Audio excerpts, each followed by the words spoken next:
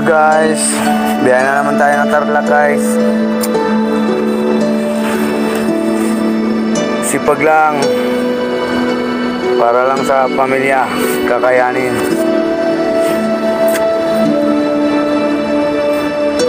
Ingat guys, maulan ang daan, maulan ang panahon, madulas ang kalsada. Ingat guys. Yung kasama namin, naputulan ng stud. Mamaya, dadaanan namin, mamaya. Tingnan natin. Re-rescuehan pa yun siya. Matagal-tagal pa yun. Putol daw yung stud eh. Si ano? Ricky Bartula. Rescuehan pa ng mga maintenance yun mamaya. Dadaanan natin siya mamaya malapit sa ECTix. Palusong ng ECTix. Okay guys, ingat. Samahan niyo ako sa biyahe.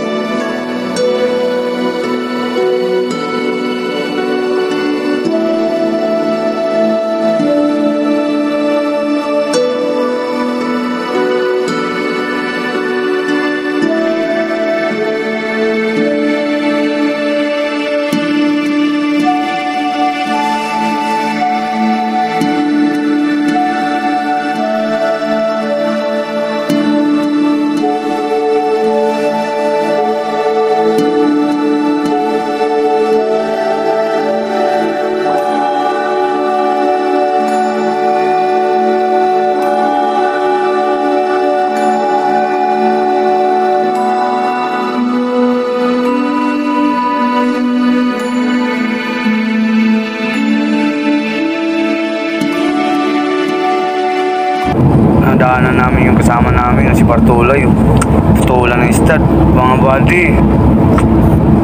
Wawa naman si body natin si Bartula yung gutom na yung skate pa. Yun yung Lantay ng rescue yan mga body.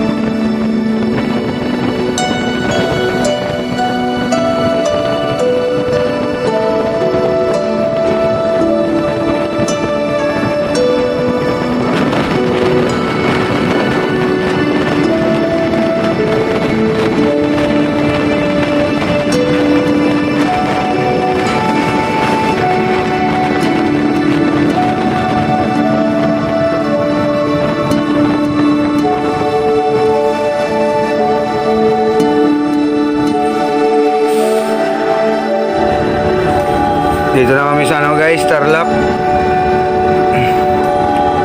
Titimbang lang kami para bukas papunta na kami sa Bugado. Na, dito na nga Tarlac. Parating lang namin guys.